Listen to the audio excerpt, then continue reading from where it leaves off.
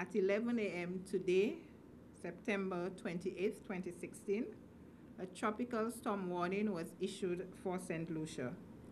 This tropical storm warning remains in effect for the island.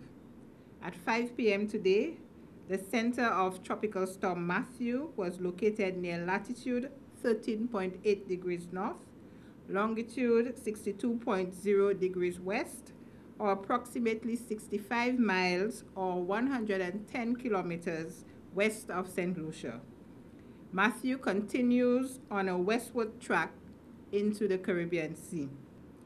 As a result of Tropical Storm Matthew, a number of national actions have been undertaken as follows. NEMO, along with the Met Office, has issued several communication products, including press releases and SMS messages to the public. The director of NEMO has been in constant communication with the acting Prime Minister as well as the acting Cabinet Secretary on the matter. Partial activation of the Emergency Operations Center occurred at 7 a.m. this morning.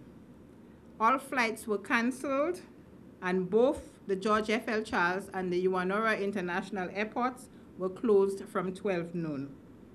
All schools remained closed today and will remain closed through Thursday, the 29th of September 2016.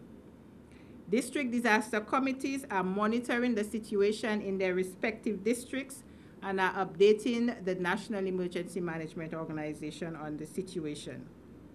The Soufriere Hospital has equipped the environmental health building in, in Wingsville as an alternate site in case the hospital becomes flooded.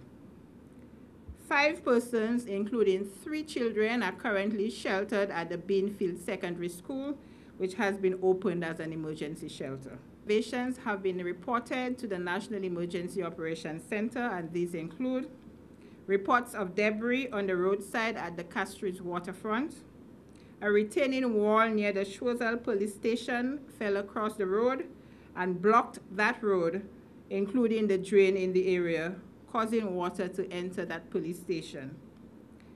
The water level has risen to the bridge level at the roadway in Union, we have also received reports of flooding at Olean in Dennery, as well as Bexon, Church Street in Dennery, near the police station in Laborie, as well as the Tamazo Bridge.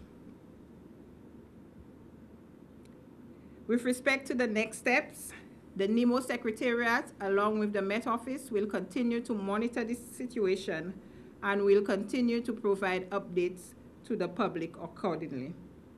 Residents in affected areas are asked to report flooding and damage caused by the weather system to their respective district disaster committees with photos if possible for onwards transmission to the NEMO Secretariat. NEMO continues to urge residents to continue listening for advisories, stay alert, and in a constant state of preparedness until the all clear is issued. The public is again reminded that the official source for information on this weather system is the Met Office and the NEMO Secretariat in St. Lucia.